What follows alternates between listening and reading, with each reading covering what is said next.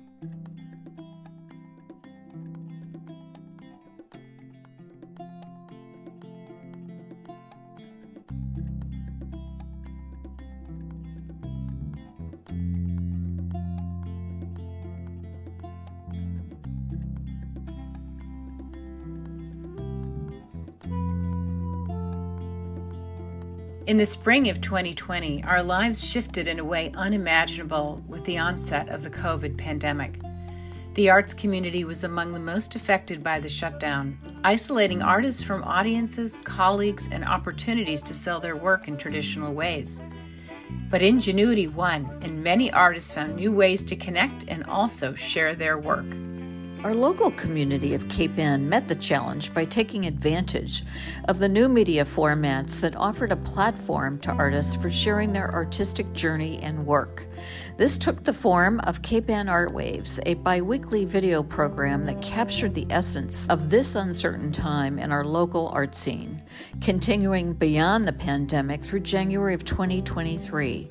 As co creators, co hosts, co producers, Christine Fisher and Jacqueline Ganem DeFalco, also both artists, are proud to present the highlights of the 75 interviews that capture this critical moment in history and the rich stories of the artists, gallerists, and curators from across the spectrum. We are honored to share this compendium of highlights to broaden the reach of these artists and continue our rich heritage as an arts destination. Many thanks to the Cape Ann Museum for becoming the official steward of these stories for future generations and to the Cape Ann Savings Bank for the financial support to create this video. We hope the videos will enhance the effort to brand Cape Ann as a vibrant, forward looking arts community, building on its rich heritage for generations to come.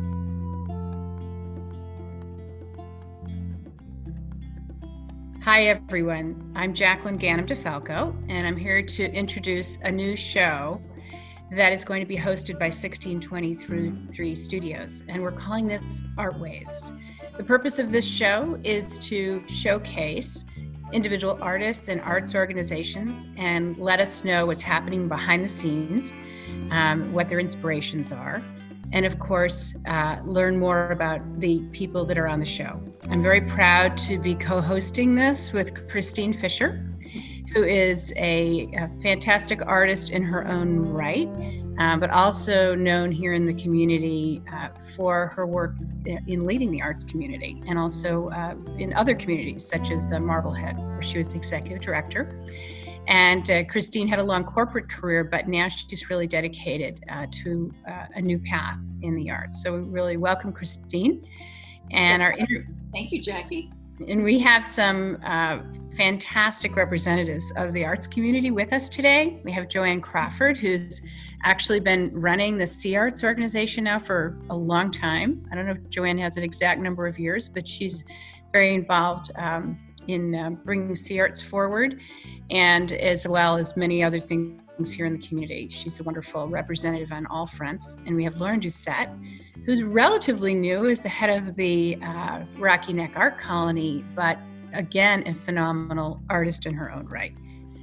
We're in the midst of uh, a time that we've never experienced, any of us before. Um, and so groups like Sea Arts had to instantly start to think differently about the organization. Joanne, what can you tell us about the way that Sea Arts is thinking these days? Well, I'm, obviously, uh, the first thing that, that came about was our weekly e-blast had to mm-hmm. change mm-hmm. completely because um, suddenly we were coming up with lists of everything that was canceled. Which is not the kind of e-blast that anyone wants to get. So, mm-hmm. um, so I I just basically switched the whole um, genre, the whole way that we do business to mm-hmm. instead of every everyone knows that everything's canceled so we went with that and then we did um, uh, similar to what Lauren's been working on at Rocky Neck, we um, put together resources for artists. And this is a real opportunity to build community in a very different kind of way. So I think uh, maybe Lauren, you could take a stab at, um, at talking about if you're thinking differently about the arts community. Hmm. I think that we've just made a greater it's just a real strong reach out to our membership. Mm. You know, what do you need? How can we mm-hmm. support you? How can we mm-hmm. um, how can we challenge you to keep going with your art? Mm-hmm. So we've been doing so we've been just actively reaching out to the membership in a really strong way. Um, weekly on our newsletter with weekly art challenges. Mm. And so, in place of our weekly drawing class that was really thriving, mm-hmm. we do mm-hmm. weekly art challenges. Okay. And they're different each week, and we post all the the entries on our website. A lot of people are very, very anxious right now. Well, you know, I would have to say, just speaking from from my for myself, I also have been running with a fair amount of anxiety, and I have found my own practice to be very healing. You know, right. I, I don't know if I'm making good art, bad art, questionable art. I think it's all over the spectrum, but it feels really good, and it's it's my way of providing some structure to my day, and it's just mm-hmm. very healing for me. It's really a you know a coping mechanism. For years, I was a painter, and uh, I painted until that just didn't do it for me anymore. And mm-hmm. I kind of took inspiration from what my life was at that point. We were rehabbing an old house, and I learned to shingle and to lay mortar and do all sorts of things. And it felt good. It felt good to build things. So I do a lot of that. In fact, this thing that I just showed you. Yes. After I was done with it, with my digital processing tools, I entered it in uh, the Rockport Art Association's uh, national show. Yes. Which was, uh, you know, from all over the country, people entered. There were seven, about 700 entries for that show. Mm-hmm. I think 160 were accepted. Mm. And piece that started with this was it was juried into the show. It made me feel pretty good. Oh, as as you should. Yeah. That, that, I think you have uh, an image of the finished piece. That's right. It's called Untitled 068B. I loved it. It's just full of mystery and it's just dreamy. The colors are dreamy. Thanks. And I and I printed it on Hahnemühle watercolor paper. Ah, okay. Without glass or acrylic in front of it because the textured paper is so beautiful. Uh, my work, as you said, is uh, quite contemporary, very colorful. Uh, I try to make it very wearable. It may be um, movable, kinetic, um, but it's fun and playful. yeah, and, um, you bet. and fun to wear. And very joyful. I mean, I've said that to you before, but that's always the descriptor that I have when I think about your work. oh, thank you. Okay, so uh, I'm doing a lot of a lot with animal um, themes and wildlife themes. Mostly, um, what attracts me to it is is the motion of of the you know the life in the animals is really what I love to capture, and I I've, I've had a lot of fun um, just kind of relating the way the metal bends and curves and and comparing that to the you know the shapes that I see in in the animals, and for me, it just matches right up very easily. So, you know, I, have enjoyed doing a lot of um, living characters, you know, and then recently I started doing some more contemporary stuff. I've had a lot of fun with glass and and mixing different mediums, and and that's kind of pulled me in another direction, but I gotta say, most of the things that I do seem to have a spirit in them, and and that's that's really what attracts me to this work. You know, with the work I design, I think it's it's about you know clean lines, nice designs, simple palette, minimal. A lot of it sort of pulls back to references mid-century modern work in a way, mm. uh, and you know everything that I develop is sort of careful thoughtful and um, again again very minimal in, in, terms of what we do. So i might uh, a finished piece might go through you know dozens of iterations before it actually gets to the final shape. Mm. i think i look at my design work and i compartmentalize that in one respect as you know and that's again as i i, I play take on that role as a designer i'm trying to work within the context of, of that existing field push beyond it a little bit and pull in a lot of my influences that uh, I think derive from my work as a fine artist and a sculptor and bring those into the work that I make. One of the things that we did when, so it was around March 10th, I think, the NBA canceled the season, and we thought, whoa, this is serious. and so that's when I realized, you know, people probably aren't going to be coming into this gallery anytime soon. And we sort of thought, we could actually live and take over any space we want in the house. And so we took the front gallery and we rearranged it with some of our favorite artists. Mm-hmm. Um, and then this painting up here, I'll just show you. So this was something I painted probably in 2003. And that's Bobby in our Granite um, Granite Street apartment at his desk, and that's um, that's Jack Sabbath. And um, you're not supposed to. so we sort of gave him. This is the center of our front gallery. So he's our he's our anchor. There's an Aver Sparrow version somewhere around here too. But one of the things, see, I'm a self-taught artist, and one of the reason, the way I taught myself how to paint was I'd be on a painting and I'd do some kind of flourish, and it would remind me of an older painting, and I'd go and find it and bring it out. Mm. What did I do then? Oh. And and that's how I progressed. And so when we came here, all of my older paintings or ones that we cherish and keep were sort of stored away. So we've just like, you know, unpacked for the first time. His writings have come down and they've just been um, so prescient, you know, in, in time. Jill's paintings right now too, you know, they're so imbued with meaning and relevancy to the moment. Yeah. Look at her a little bit as an apocalyptic painter to some extent, the way she plays with you know her color palette and, and subject matter and, and there's like a spiritual side to her painting. Right. like what would be one word to say this is this is how i would distinguish my work a large i'm a large scale colorist i would say. Okay. That's i really love color and um, i like working on a large scale. And your work is fun. I can see some of it behind you. Uh, really fun and it's it's upbeat you know when I was in fashion school, um, I realized that what I really loved about clothing was character, design, um, history, things like that, the real nitty gritty of real life.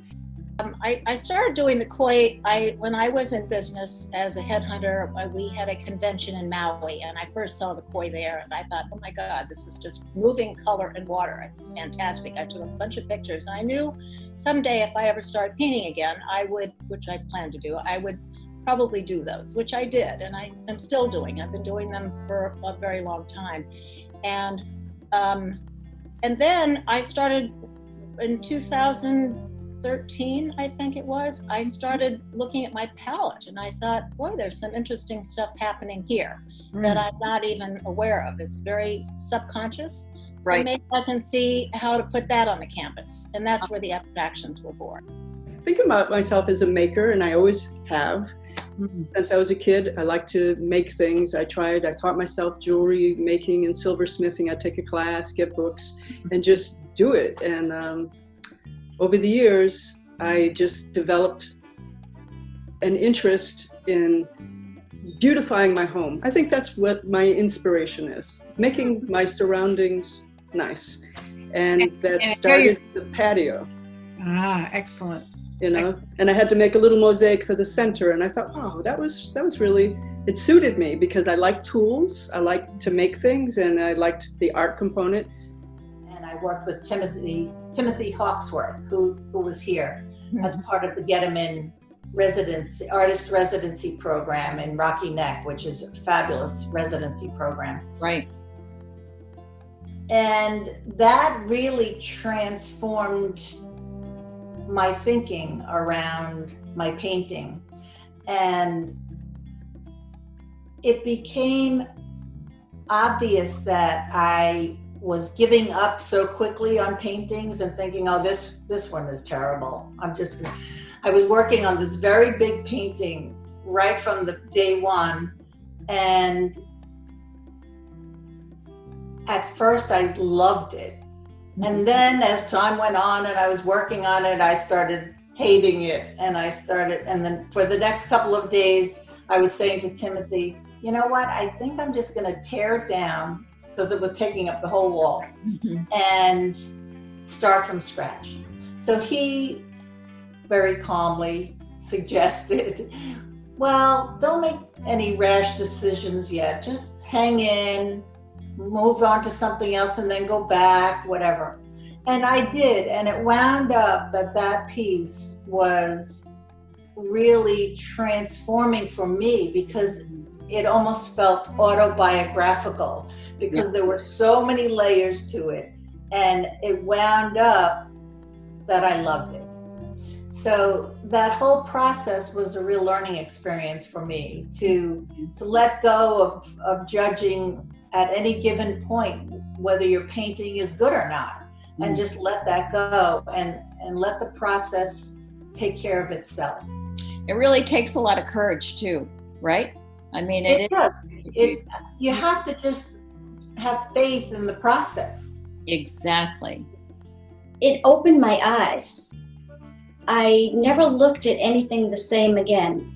It was always with the thoughts of how can I how can I paint this?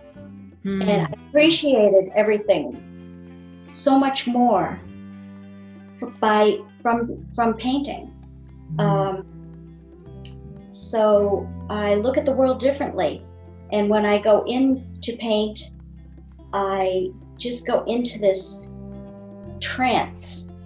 And it's sometimes it's hard to get out. Like you don't once you're in that trance and you have to come up and make lunch or whatever it's mm-hmm. it's like oh it's a shock. So it's it's um it's quite a physical experience painting. It's affected my whole life. That's amazing kathy. It sounds to me like a little bit of a meditation almost you know it when is. you focus on it that way that's a beautiful thought thank you for sharing that I think people will really uh, that'll speak to a lot of people that are listening to this. So I did a lot of um, research, not just with talking to the people, but also you know reading Joe uh, Joe Garland and reading um, uh, Mark Kurlansky and um, and spending some time at the library and at the um, Cape Ann Museum. Um, so there's a lot of um, sort of famous historical figures the first one that I had to put in was um, Howard Blackburn, of course, because that's just such a crazy story and it's so Gloucester. Right. Um, uh, but um, uh, so so reading all that informed me as well and sort of gave me a little bit of a um, place to stand. Um, there's also poetry in each of the mm-hmm. panels. So I have the first one is um, uh, Vincent Ferrini. The second one was um, Charles Olson, um, then T.S. Eliot, and then the fourth one is my dad, who was a poet. So I, I put him in. um, and um, so uh, trying to get at Gloucester from lots of different angles. A fair amount of time up in northern Thailand, northern um, uh, Nepal, actually. Mm-hmm. And, um, you know, it, it just, I, I look back at the pictures and I realize that I just took pictures of people's everyday life and tried to capture that. Things that I found very different than the way we lived. I tried to, you know, capture the, you know, the the boats and the the, the markets, that type of thing. Well, you're a cultural photographer, really. Yeah, and just the, and then to learn the history of those places, I was always interested. Mm-hmm. Is representing the world that I live in. So I'm, I'm living in this environment I'm seeing buildings, I'm seeing streets, I'm seeing telephone poles. Uh, you know, when you combine that sentiment mm-hmm. of, of having some type of a feeling, it's not that I'm going to try to describe what it is because it's kind of indescribable. Mm. And you combine that with the visual things that you learn. You learn about color, you learn about shapes, you mm-hmm. learn about line, uh, those abstract things. So when you combine the sentimental part of it, the feeling of a place where you live, and combine that, you have to combine it with the visual elements because you're actually doing a picture. And at the end of the day, it's it's a visual right. form of communication. So to me, the communication, I think of communication, communicating on those two levels. Mm-hmm. In terms of there is a sentiment, and people feel that, as you said, it's some charming thing or something. Um, there's a sentimental aspect to it, a feeling aspect to it. So let's uh, put up uh, Awry number five. Okay. That's that is going to be in our show. Talk to us about that piece, and you know this is a, a really good um, point to talk about kind of what you're what you were reacting to when you were making it. Mm-hmm. This is definitely a pandemic piece. I I, uh, I made quite a lot of work during the pandemic. Um, I was lucky. A lot of uh, my artist friends I know um, couldn't work. They were just blocked right. during this right. time. But I happened to um, use the time, and and it was um, a, a good way for me to escape all the terrible things on the news. Mm-hmm, um, mm-hmm. This piece is definitely uh, it's a mixed media uh, made with uh, spray paint, house paint, um, copper, tape um, on paper, and then it's all applied to boards. Wow. Um, and it's called Awry, a, a series of seven paintings. Um, because, and you'll notice all lines, well, on this one and it's all, all of the paintings in the series, they're all off a little bit. Nothing, none of the lines are straight. Um, just it show, it's was my feeling about how things just aren't right mm-hmm. in the world. I consider myself a contemporary artist. I did definitely have my roots in abstract expressionism because uh, I painted uh, my feelings, my thoughts, my ideas, all that stuff. And uh, over the years, I actually developed some personal symbols uh, that I really enjoy. Like I might tuck in a little um, window to the universe someplace, or if mm-hmm. some uh, an undecided kind of topic, mm-hmm. I do some game squares in there. Um, I also paint not objectively. I'd love to just take the paintbrush and start painting on the canvas and focusing on color and composition. And that's really enough. You know, it's satisfying. Um, I don't don't look for more if that's the kind of mood I'm in. Mm. Uh, basically, I'd say um, I'm pretty comfortable um, playing with various styles and different departure points because we live in a time that's got such varied, rich influences in, in, in all, all, you know, aspects of culture, and it all becomes part of your vocabulary. Yeah, what you do with it is that's individually, that's what you know makes the difference, I think. Well, what I'd like to show right now are your beautiful paintings entitled Voyage um, that do tie back to, I believe, your last trip to Italy. Yes. right? So if you could kindly talk to that for us, I think they're just stunning, Noah.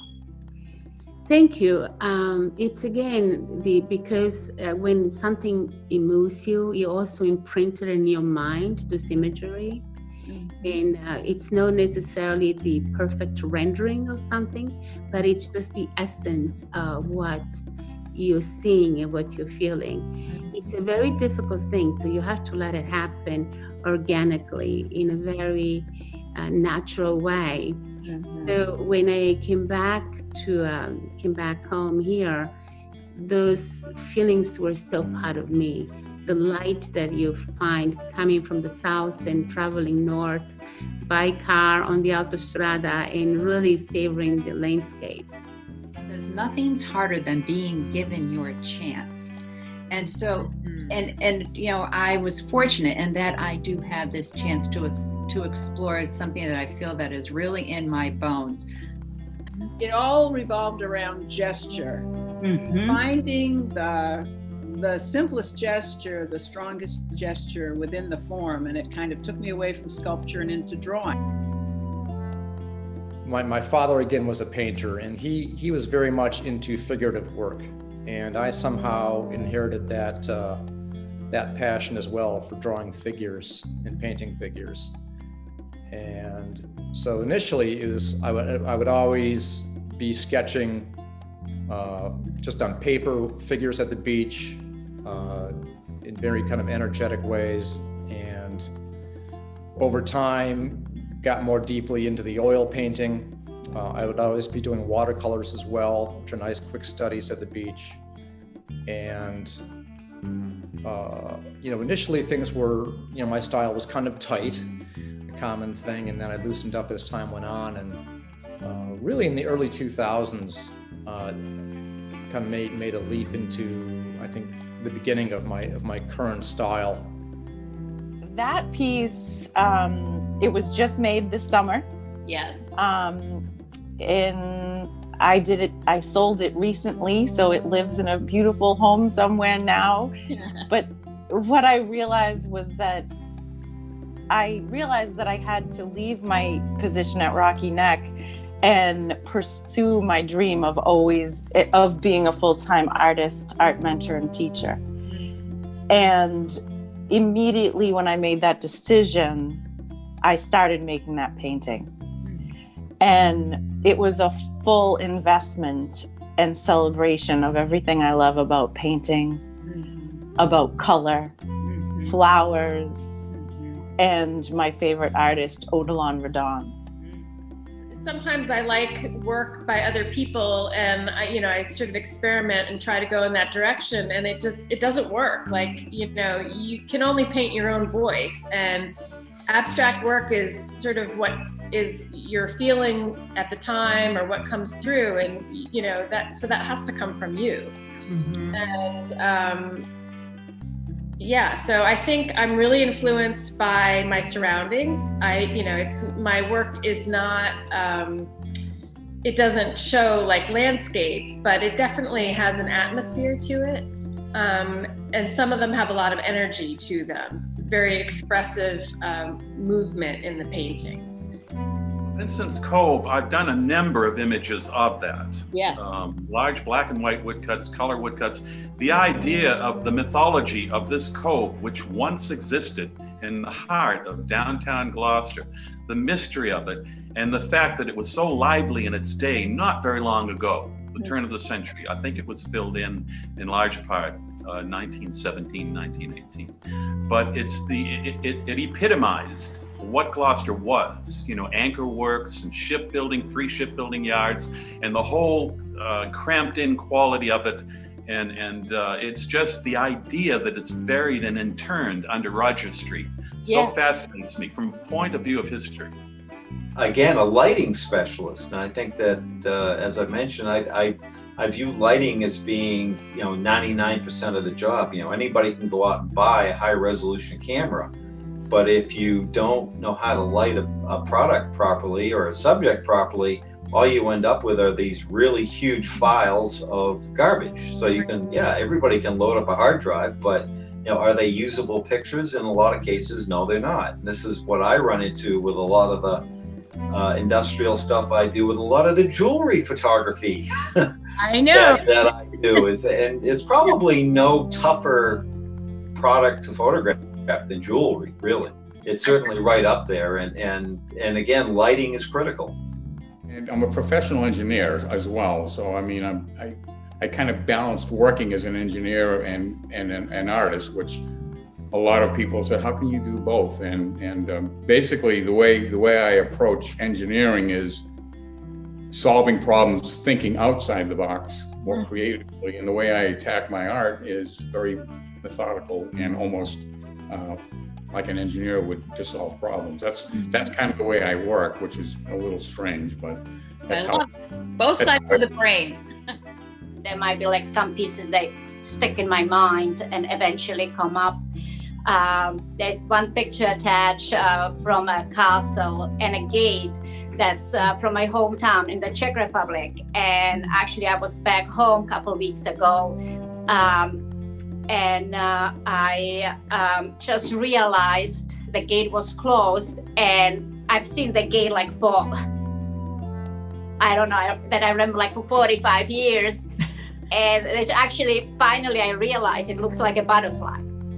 I mean, when it comes to art, like you said earlier, we, you know, it makes us into problem solvers, and um, I think that's my favorite part. You know, if I'm ever too comfortable in my work I'm uncomfortable. Mm-hmm. I think it's really important to continue to push boundaries and grow. Yeah. And see what's possible. My uh, woodblock printing and my uh, watercolor painting is very detail oriented. Um, it is more exacting uh, because it has to be. Uh, than my painting style, which is uh, usually very my oil painting and acrylic painting, which is usually much more um, uh, emotional and uh, big picture rather than detail oriented.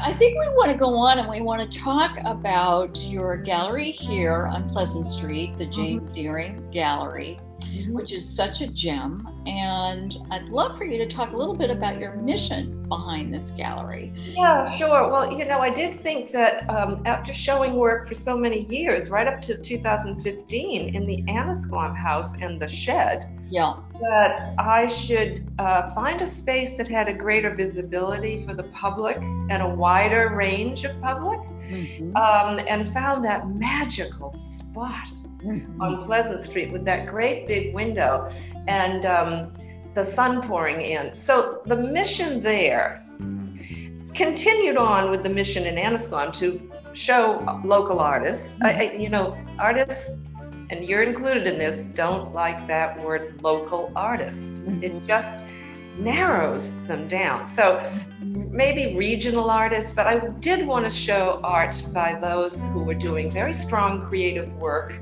on Cape Ann. So that's that's part of the mission, definitely. Um, the other part is to bring in art from other areas. And as you mentioned, I have I know quite a number of artists in California, and I have brought their work into the gallery and mixed them together, and artists from overseas and brought them into the mix as well. Mm-hmm. And um, so that's also part of the mission. Thank you to the thousands of viewers who have enjoyed Cape Ann Art Wave since its inception in March of 2020 on Channel 12, 1623 Studios Media, and YouTube. Art Waves can now be found in the digital library of the Cape Ann Museum, housed on Vimeo. Episodes will be available by year. Each video includes a list of artists interviewed in that calendar year a very special thanks to our amazing sponsors videographer Anders Johnson, musicians Steve Lacey and Pat Verga, graphic designer Linda Stockman, the team at 1623, and Sea Arts colleagues who supported this program since the beginning.